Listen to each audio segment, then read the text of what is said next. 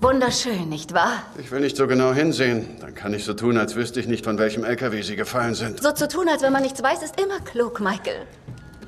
Ich muss zugeben, es ist schön, jemanden zu haben, dem ich wirklich vertraue. Es war ja quasi reines Glück, dass Sie in mein Leben getreten Für sind. mich hat sich das anders angefühlt. Ich wollte mich an Max van Kirk rächen für das, was er mir angetan hat, und Sie wollten Fällen davor retten, Max tot angehängt zu kriegen. Schon komisch, wie es so läuft, nicht wahr? Das hier ist die letzte Kiste. Perfekt. Meine erste Lieferung aus Atlanta raus. Das muss reibungslos laufen. Ich zähle auf Sie. Sagen Sie einfach wer und wo. Ich erledige das. Sie sollen die ganze Ladung an diesen Kontakt liefern, Nico, unter der Adresse. Und im Gegenzug händigt er Ihnen eine hohe Summe Geld aus. Und zwar 10 Millionen Dollar. 10 Millionen Dollar gibt mir der Typ? Und was, wenn er mich dabei lenkt? Keine Sorge, Sie haben gezeigt, dass Sie alleine klarkommen.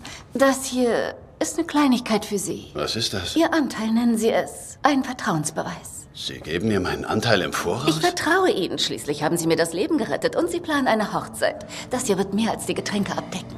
Nicht äh, zu viel natürlich. Wir wollen ja nicht, dass Fallon weiß, dass Sie jetzt die Hosen anhaben. Danke für das Vertrauen. Ich weiß, das Geld gibt Ihnen ein gutes Gefühl. Und es gibt noch was, das Ihnen ein gutes Gefühl verschaffen könnte.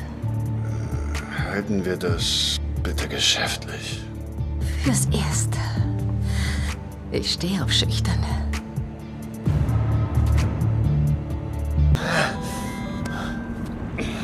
Sie haben mich gelingt, verdammt! Wenn Ihnen das hilft, das gilt doch für Fankirk Industries. Denn sehen Sie, Sie haben Heroin an deren Spedition geliefert. Und wenn das FBI Fankirk Industries unter die Lupe nimmt, stoßen Sie auf eine faszinierende Reihe verbotener Lieferungen, die ausreichen, die ganze Firma auszuschalten. Das war also Ihr Plan von Anfang an und ich war nur ein Kollateralschaden? Ich dachte eher an ein Pfand, aber Kollateralschaden klingt viel mehr nach Held. Was wohl, während wir hier plaudern, unser Freund Nico den Korps über ihre Rolle erzählen? Nikos Aussage kann mich in den Knast bringen, Ada! Kann ist eine sehr optimistische Sichtweise, würde ich sagen. Oh, und ich würde nicht so bald anhalten. Das FBI könnte etwas über ihr Fluchtauto wissen.